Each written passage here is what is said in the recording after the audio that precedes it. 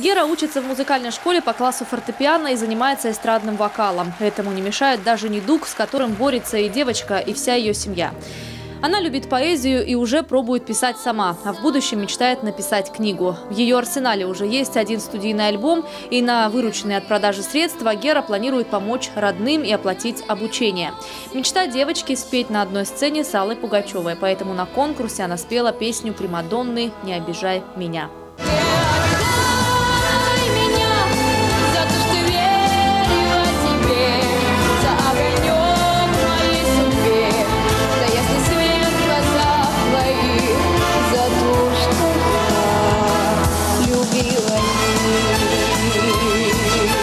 Чтобы Гера прошла в следующий тур, ей нужна поддержка. Голосование ведется на сайте конкурса «Синяя птица».